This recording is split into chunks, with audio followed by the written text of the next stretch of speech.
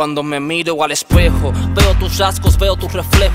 Mamá se sorprende de lo mucho que me asemejo. A ti, querido ser, que siempre te mantienes lejos y que solo envías cartas cuando otro año festejo. Sé que trabajas mucho y por eso no me quejo. Aunque en ocasiones me hacen falta los consejos, pues he tenido dudas en temas que son complejos. Y como voy creciendo, no sé cómo los manejo. No sé qué decidir, pero mamá se ha esforzado en enseñarme el bien para no andar equivocado. Honestamente, no sé cuánto tiempo haya pasado desde que no te veo, ¿por qué no me has visitado? Hace días me dijiste que vendrías a buscarme. Estaba muy contento, qué forma de ilusionarme. Tenía planeado correr hasta ti para abrazarte, pero me quedé dormido porque tú nunca llegaste. ¿Dónde estabas? ¿Será que fue la misma situación? Cuando me quedé esperando en mi primera graduación, cuando estuve enfermo esperando y pasaban horas, pero no, nunca llegaste. Mi madre se quedó sola y aturdida, pero ella nunca se da por vencida. Prefiere no comer para que yo tenga comida y no no sé si escuché bien la otra vez que tú llamaste cuando mamá te decía por qué nos abandonaste. Si no te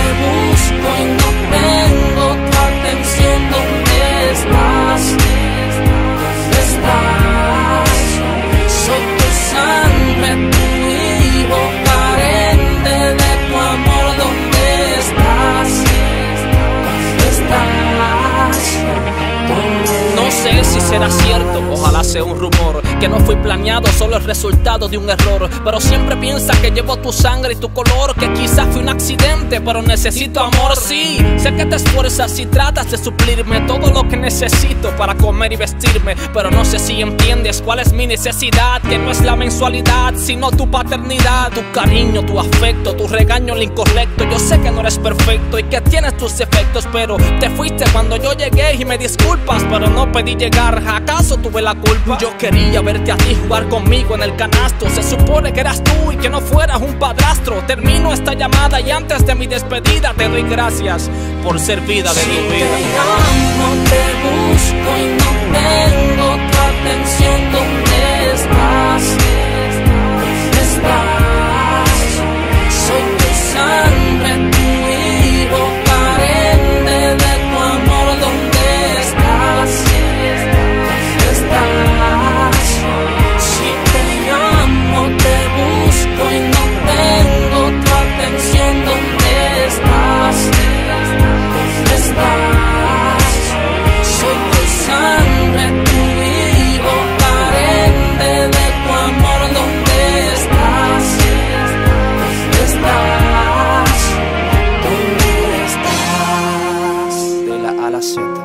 Tener un hijo es una gran bendición que muchos quisieran tener, pero no todos pueden.